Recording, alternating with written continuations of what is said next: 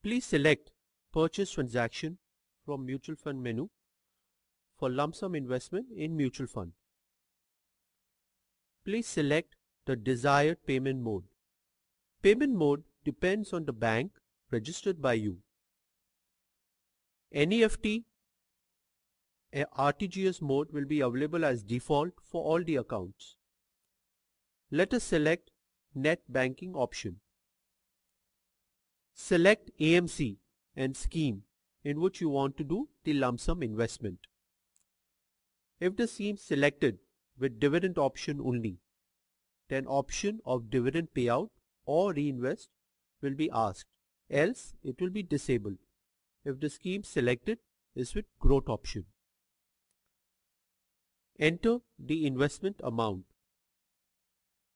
Select the service category.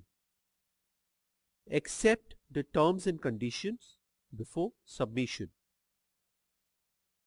Along with all the scheme details, transaction cutoff table for NAV applicability will also be displayed for your ready reference.